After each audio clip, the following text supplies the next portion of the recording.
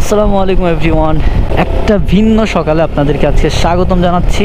আমি এখন আছি হচ্ছে কুষ্টিয়ার একটা গ্রামে, যে দেখতেছেন যে ভ্যানে, সাইকেলে, যে বস্তাগুলো যাইতেছে, সামনে দেখতেছেন একটা বুঝাই। তার সামনে হচ্ছে মোটর সাইকেলে আর একটা বস্তা নিয়ে যাইতেছে। এই যে আরেক বস্তা এখানে রেখে দিছে।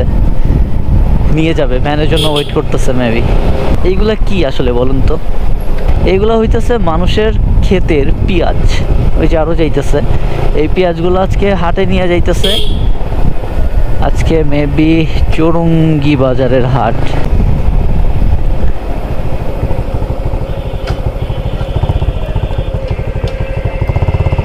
এদিক দিয়ে ঢুকেছে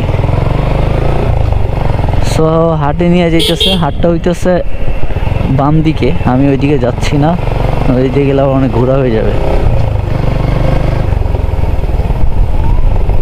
এইগুলা বিক্রি করবে। এই যে আরও একজন চাচা নিয়ে যাইতেছে। পেঁয়াজ হইতেছে গ্রামের মানুষের জন্য একটা আপনি বলতে পারেন স্বর্ণের মতো। বিপদ আপদের সঙ্গী হচ্ছে পেঁয়াজ, আমাদের গ্রাম অঞ্চলের কৃষকদের। এই পেঁয়াজ হচ্ছে সবাই মজুত করে রাখে। যাদের যার যার ক্ষেত, ক্ষেতের পেঁয়াজ, সবাই হইতেছে চাতাল বলে, বাড়ির ঘরের উপরে চাতাল সিস্টেম করা যায়। তো ওই চাতালে হইতেছে পেঁয়াজ রাইখা দেয়।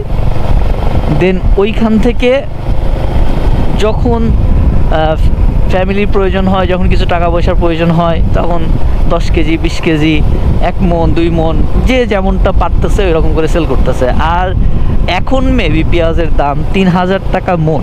ফর দ্যাট রিজন এখন সবাই হইতেছে পেঁয়াজ বিক্রি করার দিকে ঝুঁকতেছে, কারণ এখন দাম বাড়ছে। সো এই জিনিসটা আমার খুব ভালো লাগে যে গ্রামের গ্রামের মানুষের আসলে, আসলেই অভাব নাই। কিন্তু কৃষকদের আসলে কোনো মূল্যায়ন হইতেছে না। তারা যে পরিশ্রমটা করতেছে, সেই অনুযায়ী কৃষকদের মূল্যায়নটা হইতেছে না।